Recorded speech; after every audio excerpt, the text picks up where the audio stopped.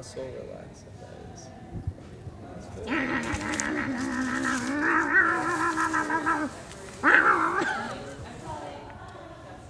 That dang, that was a loud noise. Let me check in to see what it's all about. Oh my god. What the heck?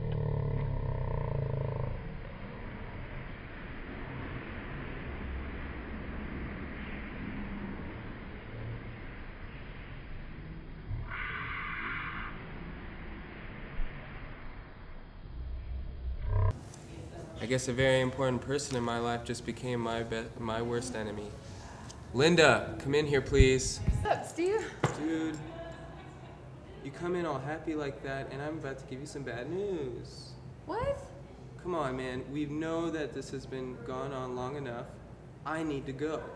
What? Your dog, your freaking rat dog, has been tearing up all my stuff. You love my dog. I hate that dog. You. Sleep in your bed. Yes. I did. We need to talk. We need to talk, especially about that freaking rat that's sitting in the corner right now, chewing up all my stuff and having and having his way with my stuff. You know what? You know what? Just because she has expensive taste doesn't mean that you can get mad at her when she shreds up your cheap stuff. So, Your dog is ugly, and I listen. I've been trying to be nice to you as a friend. I, I'm a good friend, you know, and listen. The play's gone on long enough. We can't keep going back and forth about this. I have my needs. You have your needs. Let's cut our losses, call it a tie, and move on. this is about Cecelia. I think you're jealous. It's been long enough being here in this place. Smells like freaking. Smells like bad business in here. And that's why I'm getting out. She is a strong, beautiful, independent woman.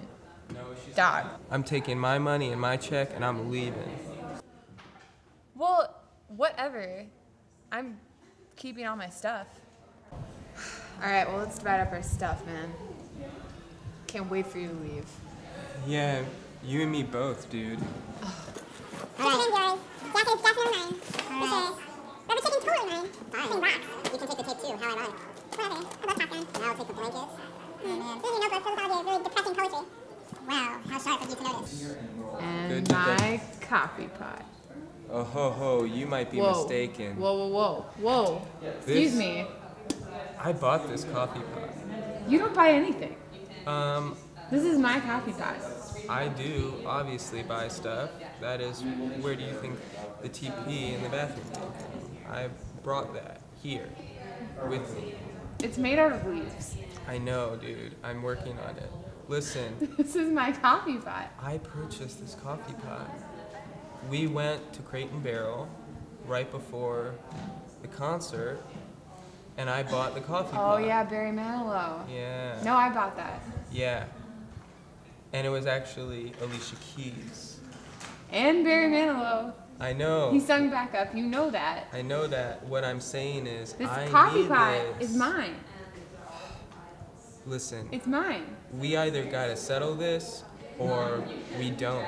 But we have to settle this. So let. What are we gonna do? Let me have the coffee pot. Uh-uh. That's not how it's gonna work. Excuse me, you're the one leaving. I wish there was a way where we could settle this and stop arguing and insulting each other. Ah. Man.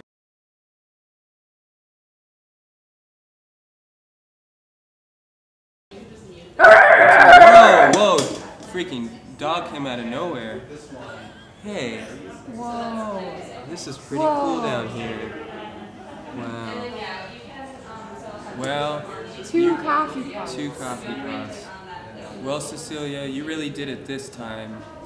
Hey, now all our problems are solved. I'm getting out of here, and we're all good.